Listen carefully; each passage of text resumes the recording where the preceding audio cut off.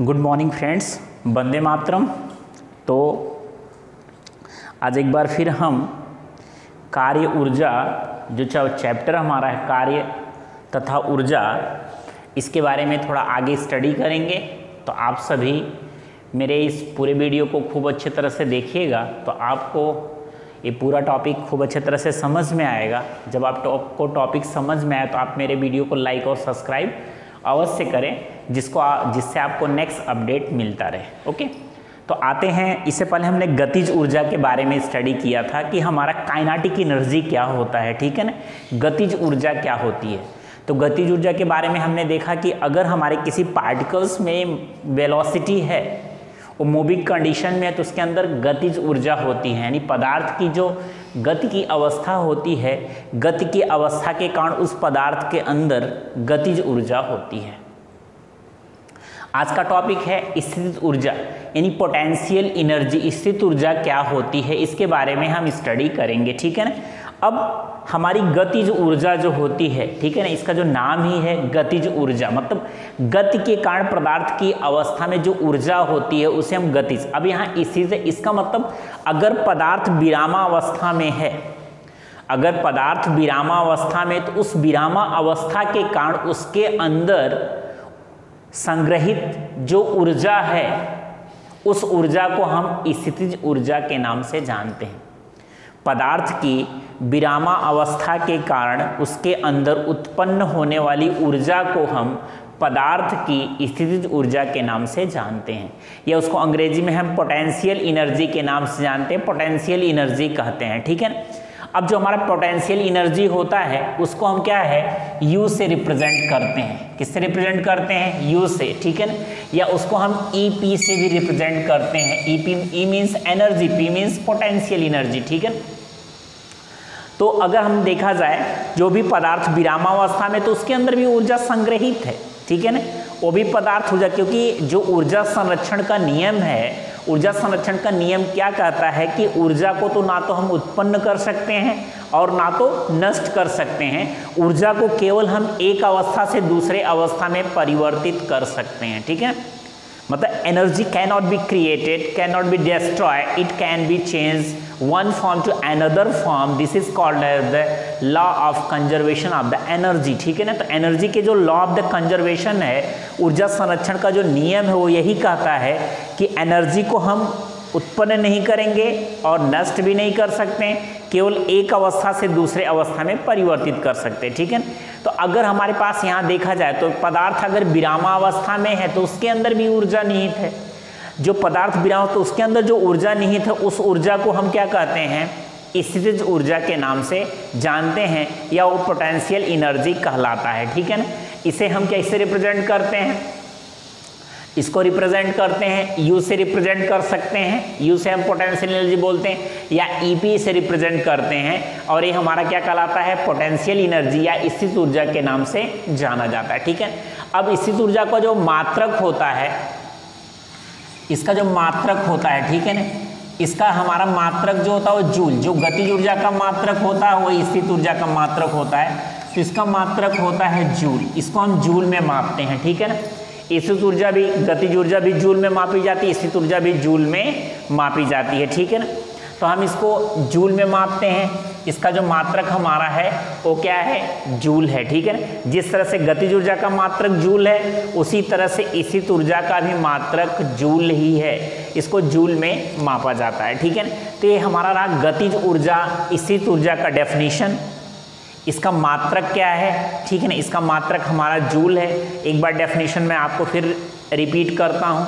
किसी पदार्थ की स्थित विरामावस्था या स्थिति के कारण उसके अंदर उत्पन्न होने वाली ऊर्जा को पदार्थ की स्थित ऊर्जा के नाम से जाना जाता है। ठीक है ना?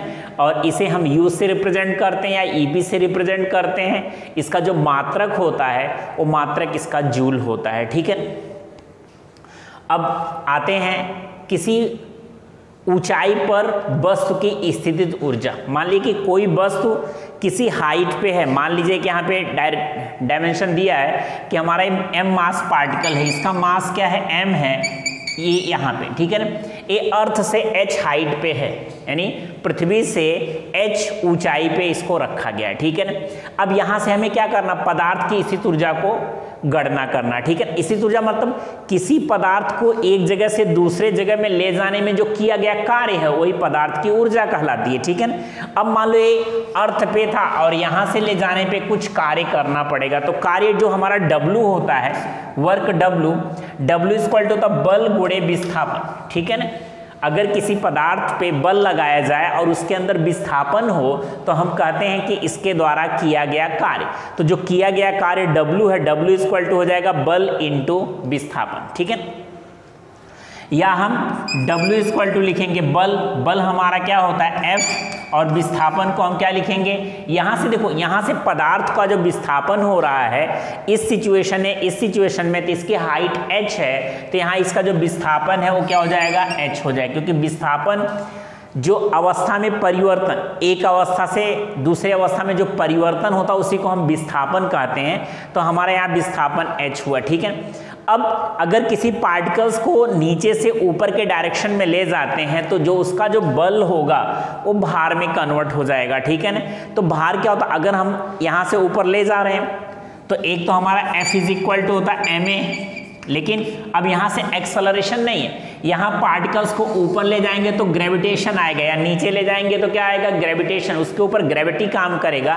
तो इसीलिए हमारा जो W इक्वल टू हो जाएगा, W equal to F equal to M G into H ठीक है यहाँ से एम जी इंटू एच हो जाएगा, या हम W इक्वल टू लिखेंगे, ये फार्मूला हो जाएगा एम जी एच और उसी किए गए कार्य को हम क्या कहते हैं? जो ये कार्य किया गया, इसी को हम गतिज सॉरी स्थित ऊर्जा के नाम से जानते हैं और इसे हम U से भी रिप्रेजेंट कर सकते हैं। तो U इक्वल टू हमारा हो जाएगा एम जी एच या इसी को ई e पी बोलेंगे। ई पी इक्वल टू भी एम जी एच होगा, ठीक है ना? तो हमारा जो पोटेंशियल एनर्जी है, जो गतिज स्थित ऊर्जा है तो स्थित ऊर्जा का ये फार्मूला हो गया, ठीक है ना? हमारा फार्मूला अब यहाँ से देखते हैं। कि अगर इसका एम सिस्टम में इसका यूनिट फाइंड आउट करना हो तो हम किस तरह से फाइंड आउट करेंगे, ठीक है ना?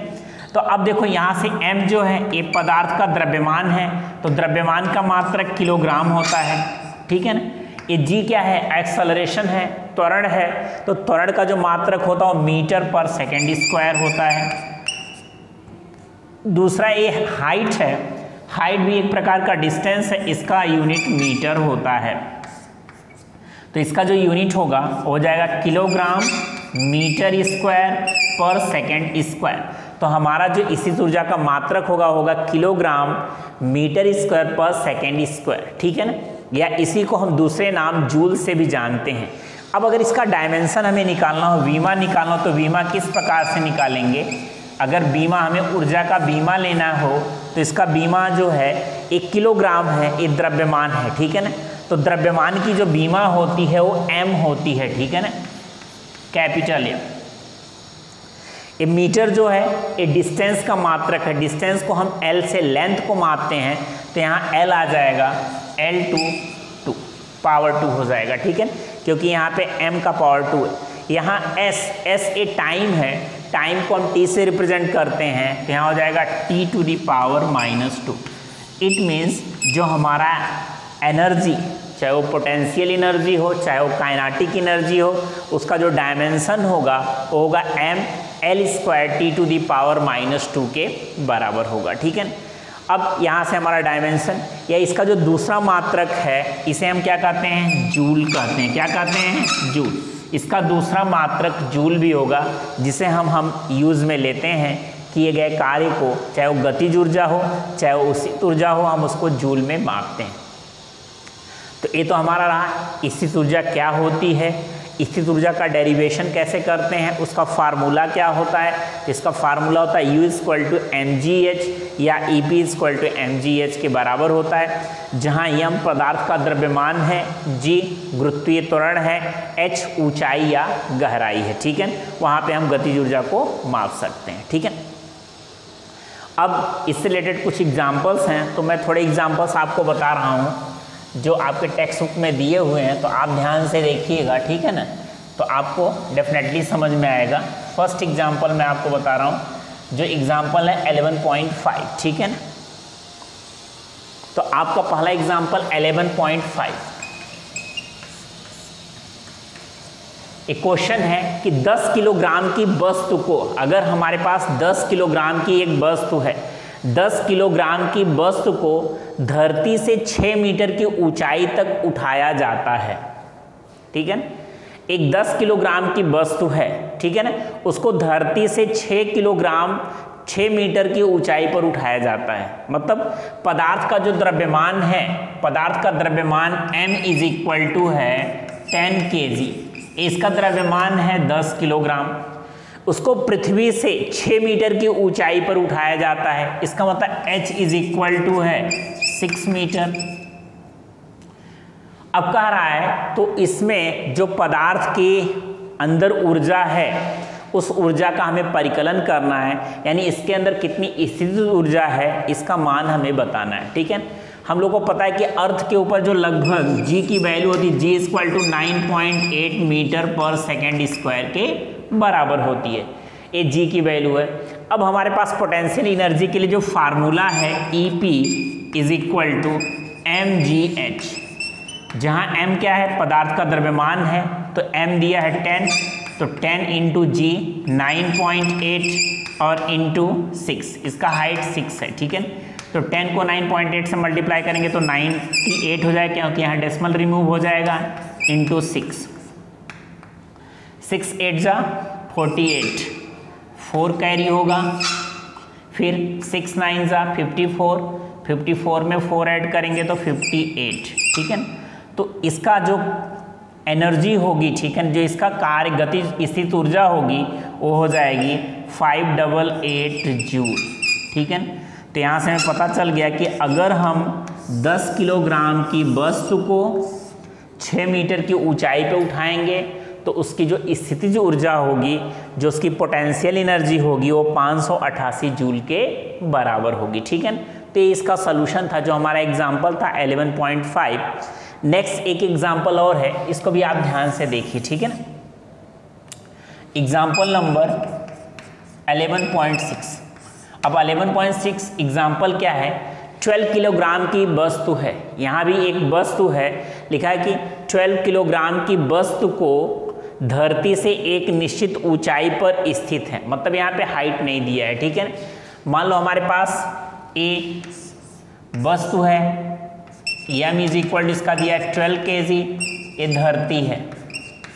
अब धरती से मान लो एक निश्चित ऊंचाई पर ये स्थित है। मान लीजिए यहाँ पे एच हाइट पर ये वस्तु यहाँ पे स्थित है, ठीक है ना? यहाँ भी इसका मास 12 के जी ही आएगा। स्थित है। यदि वस्तु की स्थित ऊर्जा 480 जूल हो मीन्स इसमें दिया है E P is equal to four joule. अगर इसका, इसी जब 480 जूल हो तो वस्तु का धरती के सापेक्ष ऊंचाई ज्ञात कीजिए। मतलब हमें एच फाइंड आउट करना है एच कितना होगा, और क्वेश्चन में दिया G equal to ten metre पर सेकेंड स्क्वायर ठीक है? ए जी की वैल्यू हमें दी हुई है। एक बार क्वेश्चन को मैं फिर से रिपीट करता हूँ। एक 12 किलोग्राम द्रव्यमान की वस्तु है जो धरती से एक निश्चित ऊंचाई पर रखी हुई है। उस ऊंचाई पर यदि वस्तु की स्थित ऊर्जा 480 जूल है तो वस्तु का धरती के सापेक्ष ऊंचाई ज्ञात करना है और क्वेश्चन में जी की वैल्यू दी है 10 मीटर पर सेकेंड स्क्वायर। तो आप एक बार देखिए, यहाँ पे हमारे पास ए धरती के ऊपर 12 किलोग्राम की वस्तु थी। ये धरती से कुछ ऊंचाई पे एच ऊंचाई पे हमने इसको रख दिया। इसके द्रव्यमान में कोई परिवर्तन नहीं होगा, ये 12 किलोग्राम ही है। इसकी जो स्थितिज ऊर्जा है ईपी है, वो 480 जूल के बराबर है और जो जी की वैल्यू है G 10 metre per second square है तो हमें इसकी स्थित ऊर्जा को फाइंड आउट करना है कि इसकी स्थितिज ऊर्जा कितनी होगी, ठीक है ना? तो अब सबसे पहले हमारे पास यहाँ से वस्तुओं को लिख लेते हैं। यहाँ से वस्तु की जो हाइट है H is equal to what इसे हमें फाइंड आउट करना है।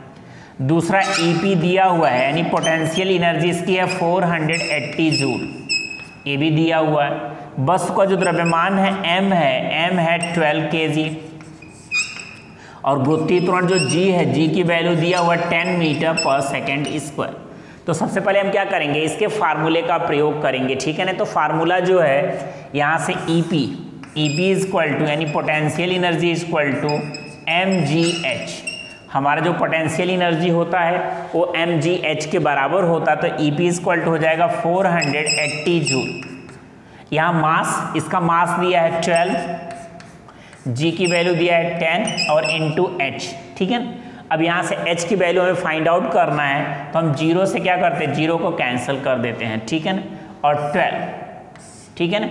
ट्वेल्व फोर जा ट्वेल्व फोर जा फोर्टी एट ठीक है ना? अब यहाँ से आ जाएगा फोर इक्वल टू एच या H is equal to four metre. मतलब वो जो वस्तु है, वो पृथ्वी से चार मीटर की ऊंचाई पर है। अगर कोई वस्तु बारह किलोग्राम की वस्तु पृथ्वी से चार मीटर की ऊंचाई पर होगी, और अगर गुरुत्वीय त्वरण जी का मान 10 मीटर पर सेकेंड स्क्वायर होगा तो उसकी जो स्थित ऊर्जा होगी, वो 480 जूल के बराबर हो जाएगी। ठीक है तो इस तरह से आप क्या करेंगे? सारे न्यूमेरिकल्स इस तरह के जो न्यूमेरिकल्स हैं, आपको एक्सरसाइज में भी दिए हुए हैं। अगर इस फार्मूले का प्रयोग करेंगे तो डेफिनेटली आपको सारे न्यूमेरिकल खूब अच्छे तरह से समझ में भी आएँगे और उसका सोल्यूशन भी होगा, ठीक है तो अब नेक्स्ट जो हमारा है नेक्स्ट टॉपिक नेक्स्ट टॉपिक को हम नेक्स्ट वीडियो में अपडेट करते हैं। तब तक के लिए आप सभी लोग ये सारे क्वेश्चन का सोल्यूशन करिए। Okay thank you good bye